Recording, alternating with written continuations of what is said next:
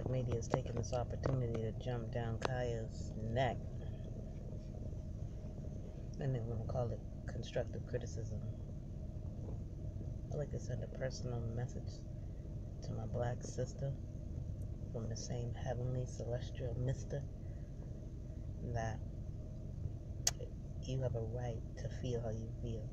And you even have a right to react the way you do. Some of us don't learn until later in life how to manage our emotions. We don't we don't understand emotional maturity because of the, the things that we've been through. And you have a right to redeem yourself.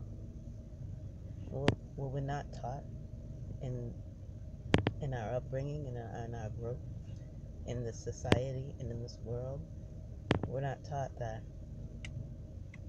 our feelings matter, but they do. In this world, we've been conditioned to just let things go.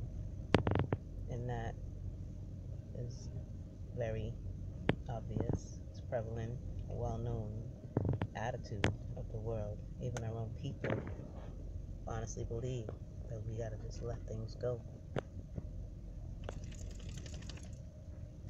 Khia, sister, I'd like to apologize on behalf of what is currently black media bashing you and calling it constructive criticism. It's not okay. We all have had disgraceful, quote unquote, moments. But like I said, we have a right to redeem ourselves.